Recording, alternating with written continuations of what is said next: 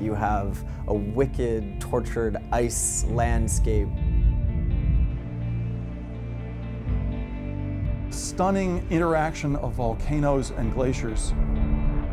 Infinitely beautiful, but then moments of sheer devastation. You better come to Iceland soon, because in a hundred years, it will certainly be a different landscape.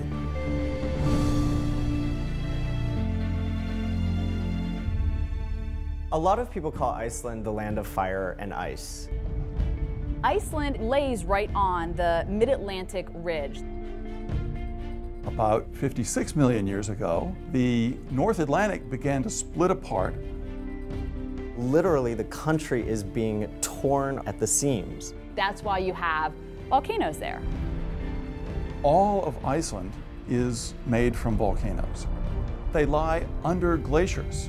And when volcanoes erupt under glaciers, you get a totally different kind of form, a bit more explosive.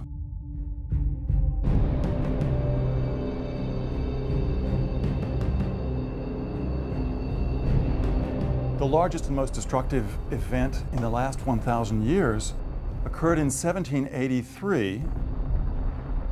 The eruption produced an ash cloud that blocked the sun. It killed at least a quarter of the population of Iceland. The ash cloud produced the year without summer in Europe. Climate change has certainly had a very strong impact on Iceland. Glaciers of Iceland reached their maximum extent about 100 years ago and are retreating visibly year to year.